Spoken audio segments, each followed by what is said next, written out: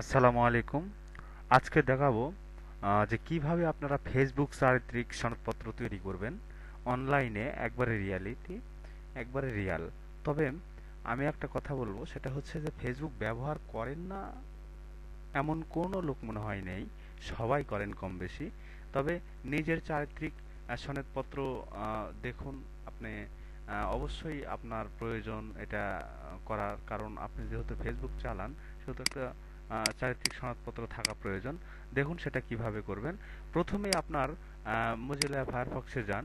যাওয়ার পরে আপনার অ্যাকাউন্টটি লগ করবেন বা লগ থাকবেই। থাকার পরে লগ থাকার পরে আমি যে লিঙ্কটি দিব, দেখুন এখানে আমি এই লিঙ্কটি ডিসক্রিপশানে দিয়ে দিব। তো এই লিঙ্কে ক্লিক করে আপনারা ডাইরেক্ট ঢুকে যাবেন। ঢুকে যাওয়ার পরে দেখুন আমার সনদপত্র এখানে তৈরি করেছি। তো এটা তৈরি করার নিয়মটা আমি দেখাচ্ছি। আমি যে লিঙ্কে ক্লিক দিব সেই লিঙ্কে চলে যাবেন। যার পর দেখবেন যে এইখানে শুরু করুন লেখা আছে। এটা আবার শুরু করুন, আমার এখানে বলা হয়েছে, কারণ আমি একবার করেছি। তো আমি আবার করে দেখাচ্ছি। যখন শুরু করুন, দাদা সাথে ক্লিক করবেন। করার পরে একটু ওয়েট করবেন। অপেক্ষা করুন।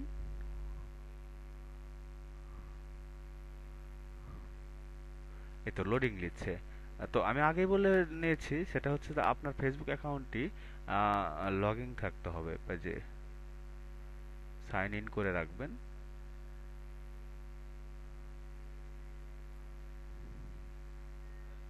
দেখুন, আপনার চারিত্রিক সনদপত্রটি হয়ে গেছে।